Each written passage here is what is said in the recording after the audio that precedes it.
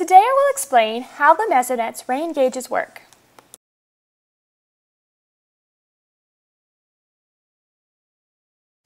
The TB3 is our most accurate rain gauge because it possesses a siphon to control water flow. First, the rain will fall into the gauge's funnel and stream into the tipping bucket mechanism, which looks like a seesaw device that you can tip up and down.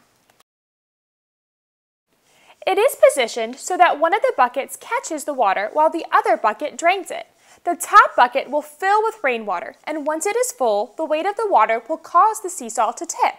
When it tips, a reed switch will momentarily close, completing an electric circuit and allowing the data logger to record an electric pulse. Each time it tips, this equals 1 100th of an inch of rain. The data logger at the Mesonet records the tips and calculates rainfall amounts every minute.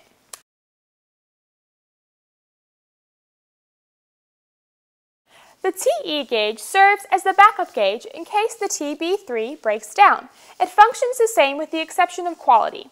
Like I mentioned previously, the TB3 has a siphon which allows it to measure the rainfall more accurately.